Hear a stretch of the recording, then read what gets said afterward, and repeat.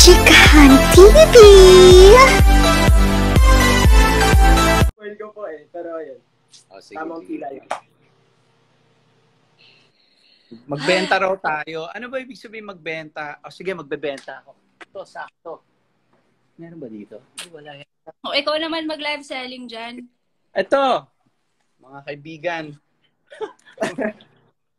wala nang laman eh. Paubos na eh.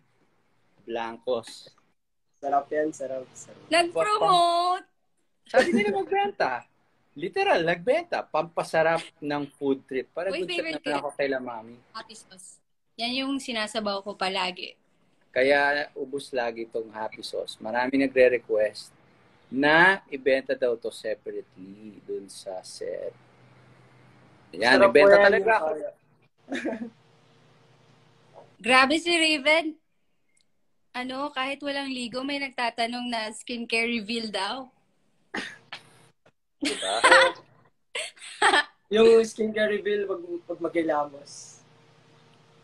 Oo, yun. Kitams, huwag daw mag-ilamos. Lipat na tayo. Ay, anong time ba lilipat sa ano? Para ma-post ko rin. Basa ng comments. Sino magbabasa ng comments?